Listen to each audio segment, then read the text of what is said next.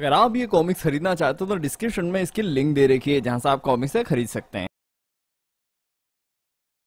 बजगर के पिछले पूरे भाग देखने के लिए आप प्लेलिस्ट में जा सकते हैं और सारे भाग देख सकते हैं। अब आगे। दोनों की बातचीत चलती रहती है। यहाँ डायना कहती है कि बहुत सालों से मैं तुम पर रिसर्च कर रही हूँ। हर साल मैं रिसर्चर नए नए हायर करती हूँ और टीम बढ़ा बढ़ा कर मैंने सौ लोगों से भी ज़्यादा टीम बढ़ा ली है, जो तुम पे केवल रिसर्च करते हैं। जबकि मैं फिजिक्स न्यूरो साइंस और क्वांटम मैकेनिक्स में पीएचडी कर रखी है मैंने। और तो और मैंने दो बार नोबल प्राइज भी छोड़ दी है। इस रिसर्च के लिए, ताकि लोगों को मेरी रिसर्च के बारे में जानकारी ना हो। तो मेरा सवाल यही है, जहाँ मैं कंफ्यूज हो चुकी हूँ। अब आगे नहीं बढ़ पा रही हूँ कि तुम बेसिकली एक भगवान ही हो। तभी कर उससे रेड वाइट स्कॉच का पूछता है। वह कहती है, नहीं, मुझे तो नीट ही ला दो, मैं नीट भी पीऊँगी मुझे तुम्हारे बारे में और जानने के लिए तुमसे कुछ कनेक्शन बनाना होगा। तुम्हारी बातों से यह प्लान लग रहा है। तभी उसे अपनी पिछली यादें याद आ जाती है। फिर वह कहता है कि, प्यार, मैं प्यार नहीं कर सकता।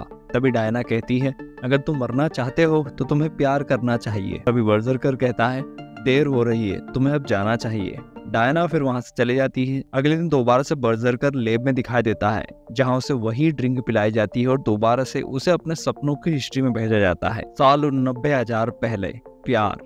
जंगल में बर्जरकर घूमता रहता है, तभी वहाँ एक भालू बर्जरकर को दिखाई देता है, जहाँ वो भालू को हरा देता है और वहीं एक लड़की होती है जो उससे काफ़ी इम्प्रेस हो जाती है। बाद में इनकी शादी हो जाती है, इन्हें एक बच्चा भी होता है। बाद में लड़की के कबीले वाले उसके टुकड़े कर देते हैं उसकी गर्दन काट देते हैं। वहीं जब वह बच्चा पैदा होता है तो वह मरा हुआ निकलता है। इसके बाद वह पहला प्यार ही, उसके बाद वह उसका पहला प्यार ही था, जिससे उसे बच्चा हुआ था। इसके बाद जितनी बार भी उसने प्यार किया और शादी की, हमेशा उसके बच्चे मरे हुए निकले, या फिर उसकी माँ बच्चा पैदा करते हुए मर जाती। वो फिर बुढ़ापे के साथ ऐसे ही सालों साल तक उसने अपनी ज़िंदगी बिताए जहाँ उससे प्यार करने वाले उसकी आँखों के सामने बूढ़े होते रहते और मरते रहते। और एक बार खुद वह एक जलती हुई चिता पर लेट गया, जहाँ वह जल ना सका। और फिर अचानक कहानी प्रेजेंट टाइम में आ जाती है, जहाँ वो सपनों में गिरा रहता है और अचानक ही पूरी लेबोरेटरी में ब्लास्ट हो जाता है। इसके बाद वह एक मिशन पे दिखाई देता है। दूसरी ओर लेबोरेटरी में डायना एक डाटा इकट्ठा करती रहती है, तब पीछे से प्रोफेसर आ जाता है और वह कहता है कि, क्या तुम्हें वो डाटा मिला? डायना की आँखों में चमक दिखाई देती है और वह कहती है हाँ मुझे मिल चुका है। अब आगे की कहानी भाग छह में।